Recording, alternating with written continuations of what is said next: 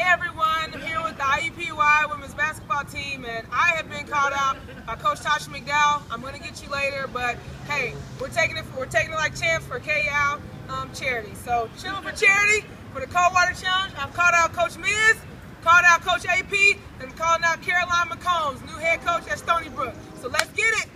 All right, because I've been called out and I'm about to get it, I am calling out Chuck Love from South Dakota.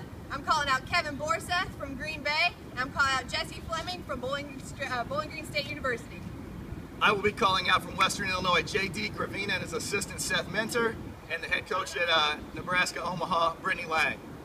I'm Coach Kristen Draven, and I was called out by Coach Bree Gaithier from Manhattan, and I'm going to call out Coach Phil Sayers um, from Grand Valley State, and Coach Ann McInerney and Shante Bonds from Holy Cross. For charity, let's go!